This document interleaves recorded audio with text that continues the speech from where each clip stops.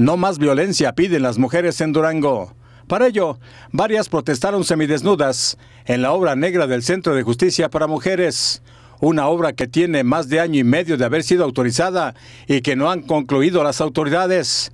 Por ello, de esta forma se manifiestan para exigir a las autoridades se ponga en funcionamiento cuanto antes este centro para mitigar la violencia hacia las mujeres que se vive en nuestro estado, así como terminar con la impunidad en casos de asesinatos y violencia.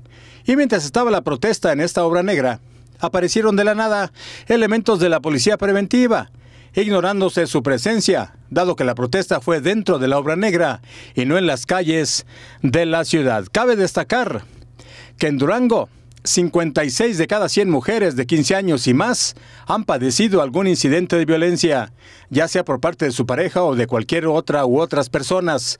40 de cada 100 de 15 y más que han tenido al menos una relación de pareja o matrimonio o noviazgo han sido agredidas por su actual o última pareja a lo largo de su relación. Esto lo da a conocer el INEGI. En la lente Gustavo Guerrero, reportero Juan José Salas Mancinas.